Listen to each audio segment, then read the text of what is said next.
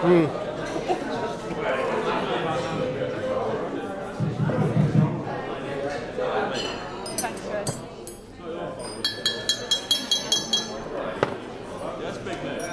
Oh, not so, not so big, thank you.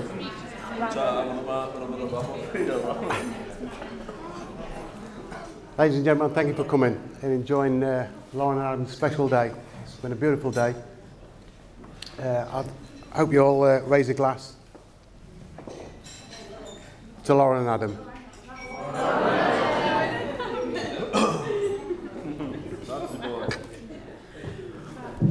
Over and out.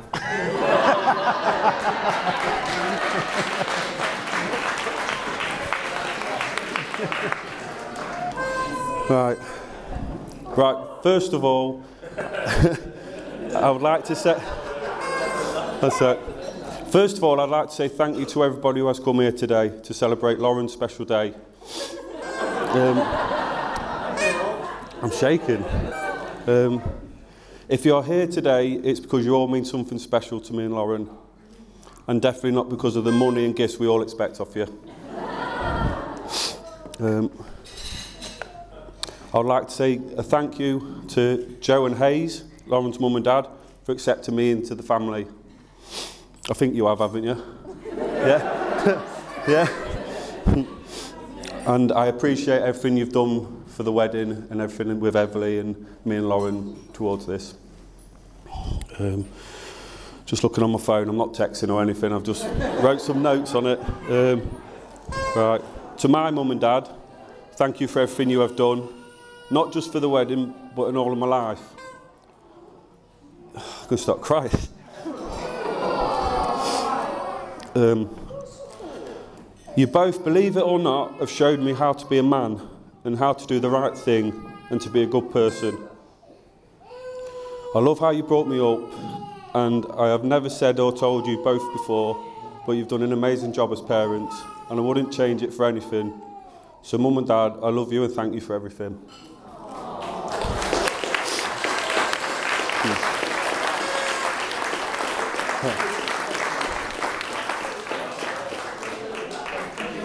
um, the best man, Sergio, slash his partner. Um, I, have known you all my life, really. We have done some silly shit together over the years, some that bad, I don't think some people would believe. And I might be a little worried about what you're about to say. Where is he? I can't even, where's Serge? Oh, there. All right, mate. um, yeah, let me. So a big thank. So a big thank you to you, Mrs. Emily, and my wife who sorted out the, the stag night because without them we definitely wouldn't have had one. So can I have a round of applause for them too for sorting that out, please?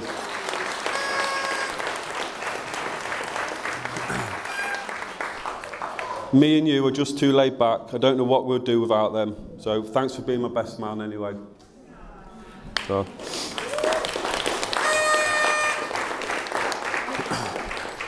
The bridesmaids, you all look lovely. It's funny what a little bit of makeup can do, isn't it? Sorry. Sorry. Um, oh dear. Um, you all are very special to Lauren, so anyone who is special to Lauren is special to me. A big thank you to Beth for making the best wedding cake. It looks amazing. Are you there?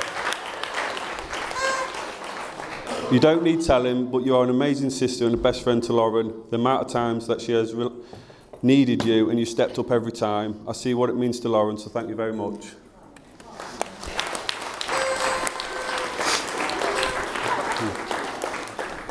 to Everly, the best, the best daughter you could ask for. Fuck's sake, man.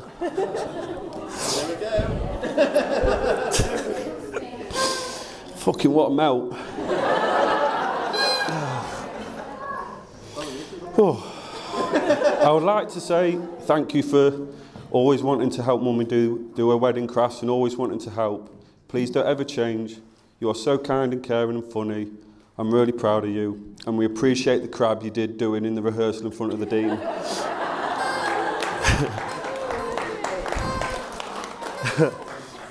Uh, last but not least, Mrs. Wilco, as Everly would say. First things first, I'd like to say, say, Lauren, you look absolutely stunning. You have done absolutely everything for this wedding. All I have done is fetch some stone out of the skip at work for the name tables. That's no joke either, that's all I've done. Uh, while she has been while she has been slaving away night after night while doing 14 hour shifts with busy time at work, looking after me and Everly, I don't know how you do it, and I've and I've put this. I think that deserves a clap. So.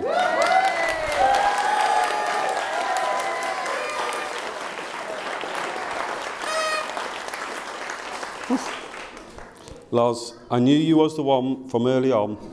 I remember our first date in the Five Bells in Bassingham, and I remember thinking, fuck me, she can eat a lot. No, the- the- I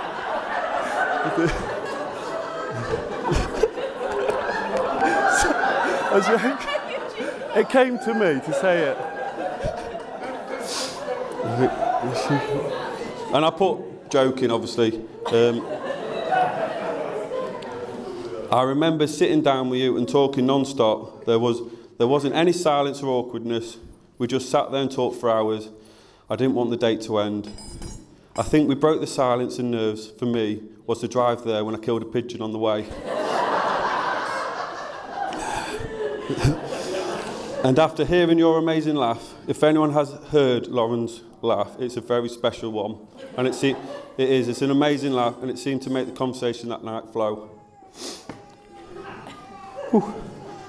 But none of this would have happened if you didn't add me on Facebook seven and a half years ago. And I was reading our very first conversation we said to each other, and it went like this.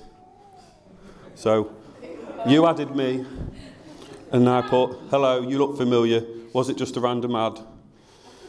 Um, yes, it was. I hope you don't mind. And I played it cool and just put no worries. Um, then, then you put, well, I thought he looks like he can handle a good bit of stone. Must be worth an ad. So I put, you're calling yourself a good bit of stone?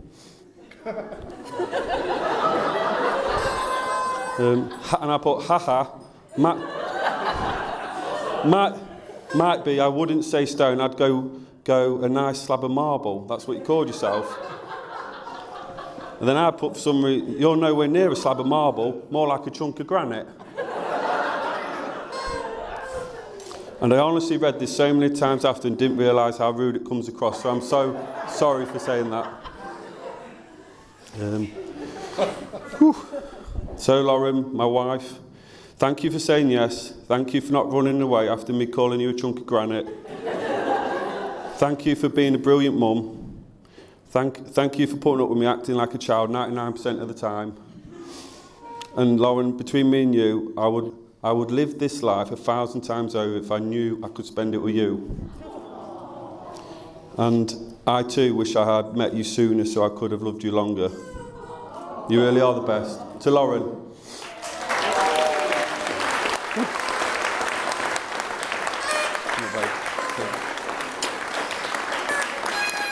Who has this next?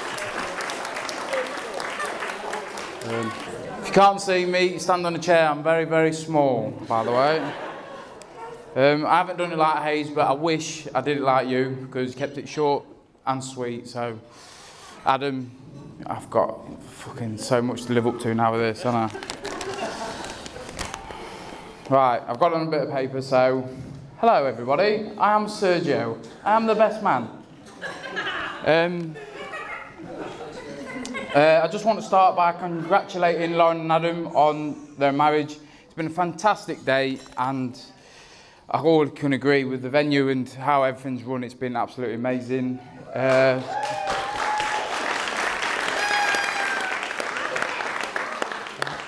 uh, the bridesmaids and Lauren, bloody hell, Lauren, when you was coming down the aisle, I even got goosebumps. Jesus, I was looking at Adam and goes, tell me when she's coming, tell me when she's coming.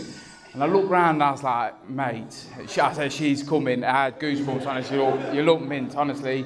Bridesmaids as well, you look absolutely fan, well, beautiful, actually. It's, writ- it's written down on here, actually. So. Um, groomsmen, He did a, a sterling job, very sterling job. Uh, not as good as me, but very good sterling job. Right.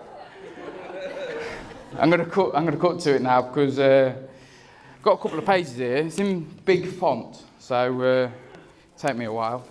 Right. Growing up with Adam, I've known Adam since we were about five years old, wasn't it? So I moved to Highcombe. And I remember going to school and walking across the road, and I think Joe was taking Adam to school, and Mum was taking me to school. And uh, didn't get, didn't get run over that day, and he was like, all right. I was like, all right. And we made friends just going to the spa. And uh, like, look at it, they sat us down right next to each other on the first day of school. So that's how really weird life turns out. And uh, yeah, been mates since, since then. Right. Yeah, right. So anyway, Adam's always been daring. Like when we was growing up, he was but he's not. You might not know it now, but before, like he always used to kick the football the hardest. He used to climb the highest trees. He used to do like throw the first stone. Like there's many cars that he hit with a stone. Uh, trust me, he's absolutely such a weirdo. It's unbelievable. so we went to one of our friends' house who lived down the street, um, and we were throwing stones, uh, not stones, um, apples out a window because we thought it was a fun game. Adam picked up a stone, and he goes, "Do you dare me to throw this stone?" And I went, "Yeah, all right." And he threw this stone, and hit it and smashed the window, and obviously we ran off like a pair of good ones and uh, did one, but um, yeah. Uh, where am I going? I've lost where I am. Yeah, going up to school, Adam has always been best mate, so he always, that's why I've always been a bit of a grafter. He always used to start his paper round really early in the morning and then come round ours, give us a knock, see if I was biking to school. And uh, we always used to bike to school. And some days Adam's bike would have a flatty and he'd give me a back heat all the way to NK. And I think as a 13 year old 12 year old, I thought, bloody hell, some good going. Like, looking back now, I thought it was bloody good going. so, so, Adam always thought he'd go one better. And when there was three of us going to school, he thought, I can get one on the front, I'll pedal, and one on the back. And Adam pedalled us all the way to school, free on a bike. So if you ever saw a weirdos on, on Highcombe Road, that was definitely us. Um, yeah.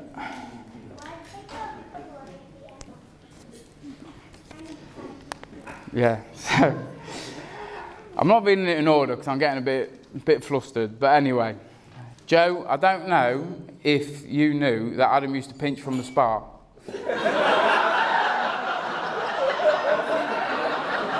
no? Well, he did. we used to go, when he used to call for us, we used to go to the park, and Adam always to go, Do you want any sweets? And I go, Yeah, I'd love some sweets. And he always go in the spa, come out, loads of Rolos and loads of stuff, honestly. She'll rob you blind. So he probably owes you a lot. And Paul, did you know Adam used to nick your pornos?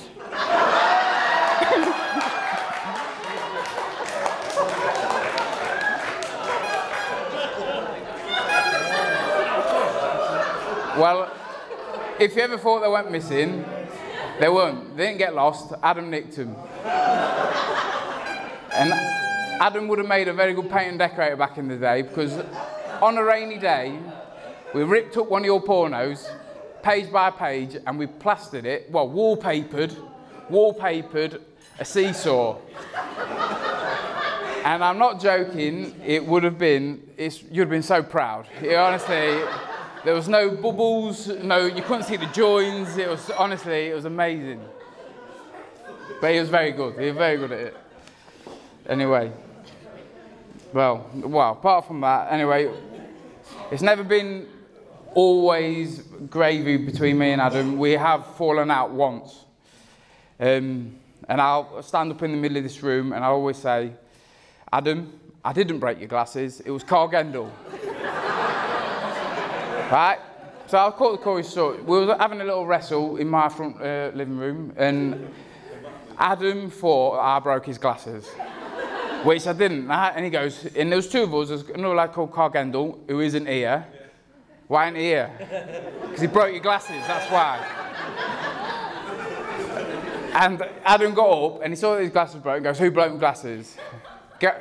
Did Carl say it? We said, No, it wasn't me. I said, "No, Definitely want me. And then he thought it was me. He punched me.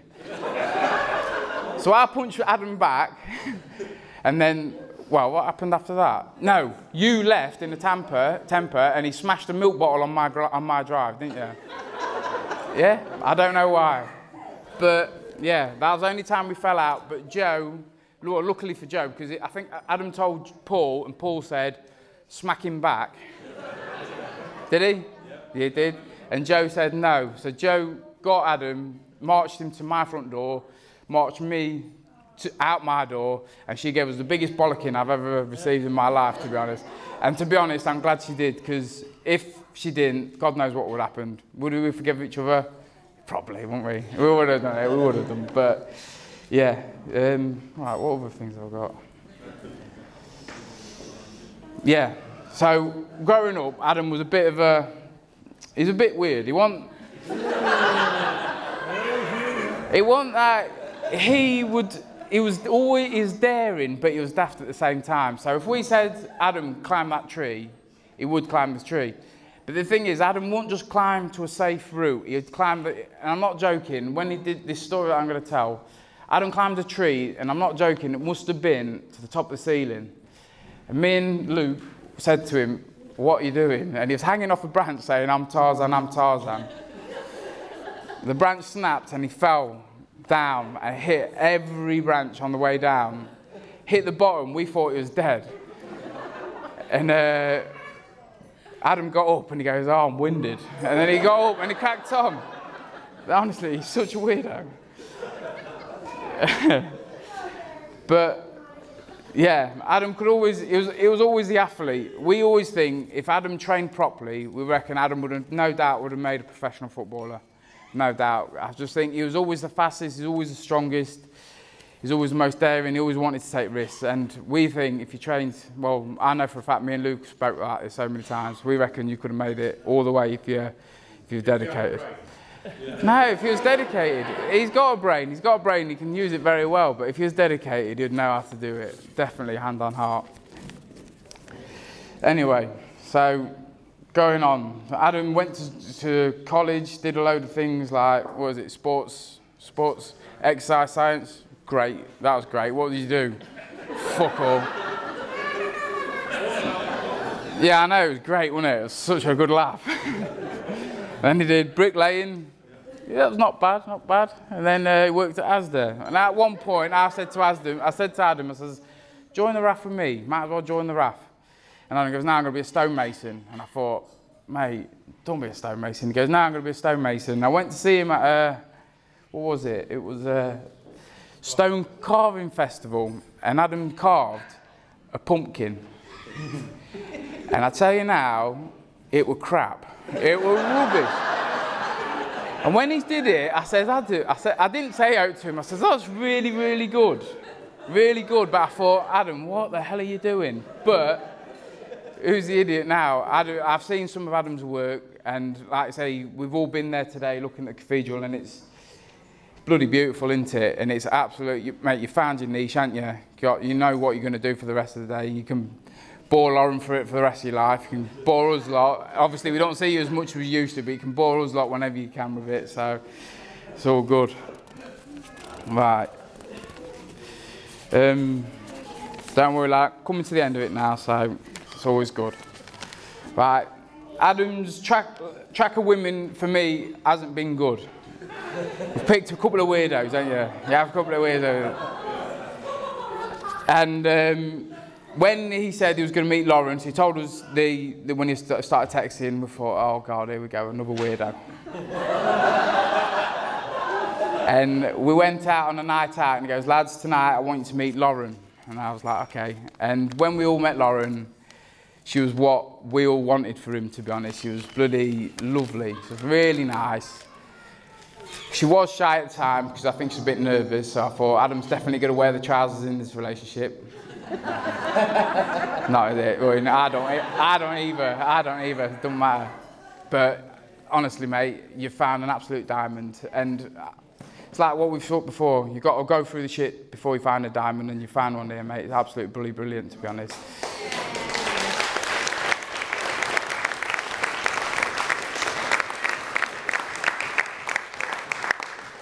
And going to start, well, you've got, already got an amazing family, so whatever happens now, whatever happens in Dubai, you never know. Stays in Dubai. But um, I'd like to, everyone to raise a glass to Adam and Lauren and such a fantastic day.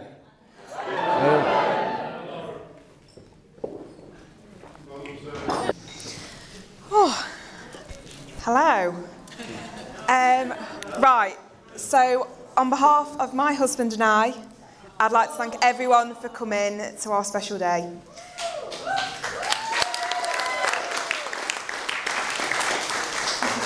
We truly appreciate having the opportunity to be around people closest to us and sharing these moments with us. I know it's not traditional for the bride to make a speech, but it wouldn't be my wedding if I didn't articulate my feelings, now would it? Um, as most of you know, I'm quite good with words. It's just that mostly those words are profanities. Adam and I were not allowed to write our own vows. Adam wasn't upset by this, as you can imagine. Um, I did hear him ask Evs if she could help, help him write his speech. um, firstly, I would like to start with some thank yous. Um, to my dad, who helped us with the wedding. Thank you for showing me what hard work is. You helped me make you helped make me the person I am from what you've given us as a family all of your life through sheer hard work and resilience. I appreciate everything I have is from a foundation you built for me. I may not be a Hazelhurst by name anymore, but I'll always be one at heart. I love you.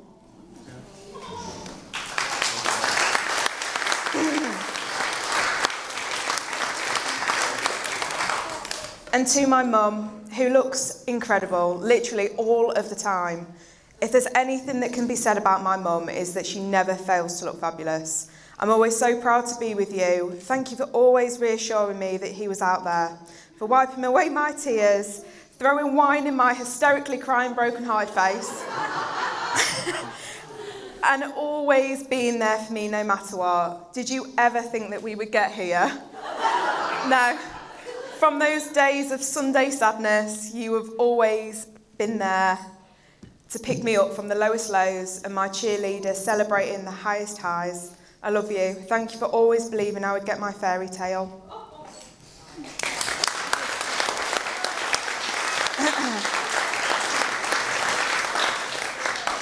and to my Bep, my one in a million sister, the person who I can turn to no matter what, who helps me with the messes that I've made, whether that be tidying up the Barbies that I've decided I didn't want to play with anymore, or helping me get out of my, get my car out of a space I'd got stuck in.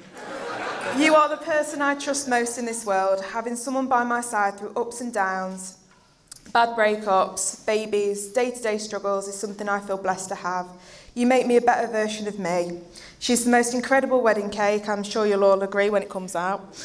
Um, thank you, Beth, for helping me with all of this. You are the most special person, and I will always feel so lucky for our bond.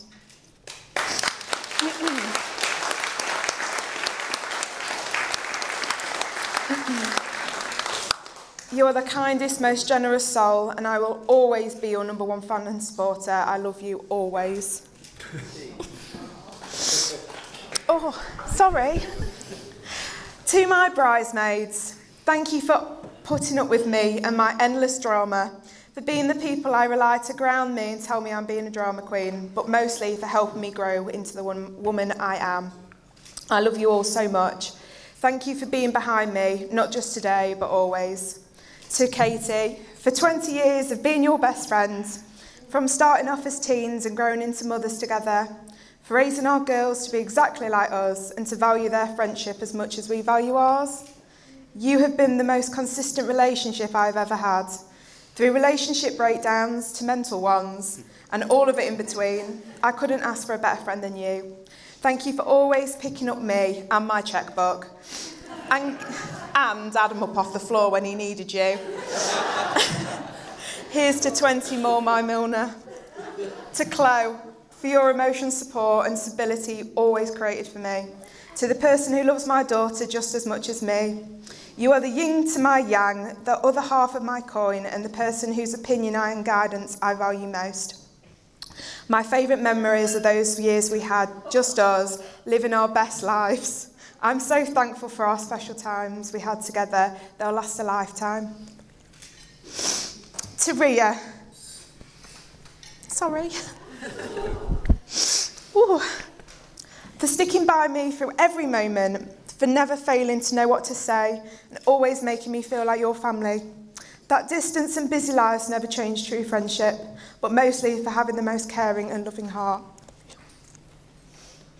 The four best friends I could ever ask for, the best godmothers to our girl, and the best people you will ever meet. I'm truly blessed to have people who love me no matter what and through my many flaws.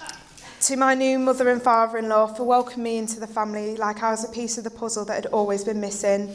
You raised an incredible man, and for that I'll uh, forever be thankful. I promise to love him with all that I am, tell him when he's wrong, and if he doesn't listen to, call you and you can tell him. to our beautiful girl Everly, we are so proud of you. You did an amazing job today, and what a gorgeous little princess you looked. Mummy and Daddy love you endless amounts. She really appreciated that, didn't she? cool. Um, to my nan and pops, who prove what love and marriage truly mean, through good and bad till the very end. Over 50 years of marriage, you are what we will continue to strive for. I love you both. Yay. I'm wrapping up now, I promise. And finally, I would like to tell you about my husband, because beyond the squats, the muscles, the stone bashing, and the Arsenal loving, he's one in a million. I knew he was special from the very first time I spoke to him. I'll take you back to 2015. Now, you've heard this story because he's already said it, but um, I was going through a bit of a life crisis. We all have them. Um, it was a phase, shall I say, and I was having a spell of bad dates uh, and disastrous Tinder experiences. My best pal, Chloe, dared me to be brave and start talking to this fit guy I'd seen on my people who you might know on Facebook. And I remember thinking, oh, he's a bit of me. we did the whole do I know you game, and I threw some innuendos out for good measure. I told him, I told him he looked like he could handle a good piece of stone, but it felt different this time. It felt exciting, and he made me laugh, not like I'd ever laughed before. His innocence in his stories, but the stupidity that came with it. He still does that now with his It Could Only Happen to Adam stories. For example, when the subteam caught him deep throating a broom handle. they did look quite surprised when I turned up to the marriage meeting. We, went on, we went on our first date. He picked me up in his C4. Great impression that was. I remember climbing in the car, looking over to him and thinking, oh shit, he's massive. His outfit was picked out by Saz, and we went to the Five Bells at Bassingham. During the drive, he killed a pigeon, which cut the tension of a first date. We spoke the whole night about our family, and especially how much I love my nan and pops. I would say it was practically love at first sight from that moment onwards. We made some memories, found new areas of the cathedral to explore. we went on some very scenic bike rides, and for those who know me, no, I can't ride a bike.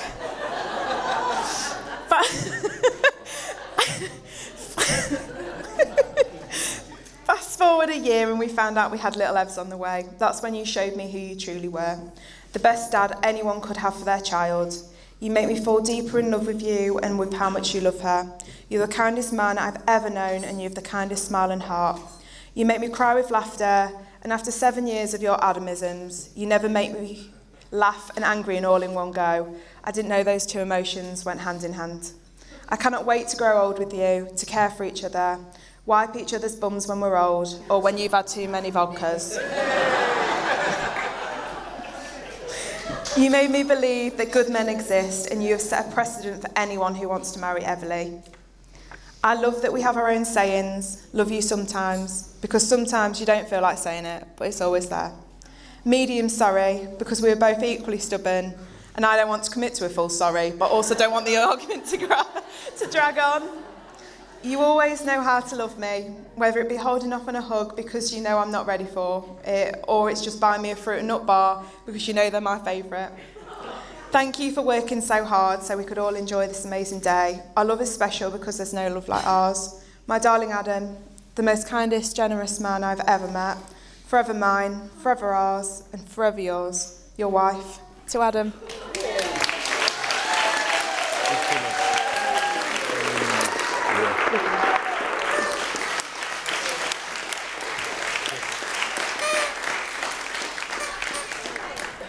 Is it on? Testing. Can everybody hear me? I can't wait. It's too. I'm sorry, I can't. I've got to get this out now. Let's go. Right. Hello, everyone. For those of you that don't know, I'm. Can you hear me properly? Yeah. I'm Lauren's bridesmaid, Katie. Um, I have changed my speech this morning because a lot of it really wasn't appropriate for today. Um, and I felt like if it had been her birthday, I probably would have said a lot more, but it's not, it's a wedding, so I can't really say any more on that. Um, so, firstly, I would like to begin by saying how beautiful my best friend looks today. Um, yes. And Adam, I suppose you look okay too. um, secondly, I would like to say thank you for creating such a beautiful day. It's an absolute pleasure to be here celebrating with you, and I'm sure you'll all agree with that. Um, you should both be very proud, so thank you for that. um, so now the bit I've been waiting for. Lauren, where do I even begin? I don't really remember our first encounter as friends because I feel like you've been in my life forever. I mean, 21 years is basically forever, isn't it? But you said 20, or did you say 21? Or have I got that wrong? Okay, that's fine then. We'll continue with that. 21 years of friendship is basically forever. Um, so taking it right back to our teenage years, when we would spend our entire weekends together, from the moment we stepped out of school on a Friday to Sunday evening, we normally start the Friday at your house, go to the Common, go to Boultham Park, um, and then on the Saturday, we would go to my parents' house, and then we would prank call people, bake cakes, play on The Sims, you know, all the usual teenage stuff. um, And then we moved on to the years we spent drinking in the Vic and then obviously town. Um, those were some of the best days of our life, and I would go into detail, but most are not appropriate for today. Um, so the next chapter has been my favourite by far, babies and marriage. So I'm so happy that I got to stand by your side today, just like you did on my wedding day. Adam really is your soulmate. I know I was sceptical at first. Can you blame me? but it soon became clear that you two were meant to be. So thank you, Adam, for making my best friend the happiest she has ever been. Um, it's the greatest gift being your friend. And not only that, but being part of Everly's life, just like you are, Harper and. I'm not crying, I'm crying. um, our story started with the funny memories together, and we still have no, those, but now they involve our families. And this is everything we ever dreamed of as teenagers, and I count my blessings every day to have you in my life. Um, so I'm going to round it up now. I would just like to say a massive congratulations to the new Mr. and Mrs. Wilcoxon. You can all raise a glass. Yes. Congratulations, guys! Thank well you. now sing Barbara Blackburn. Barbara Blackburn. Thanks.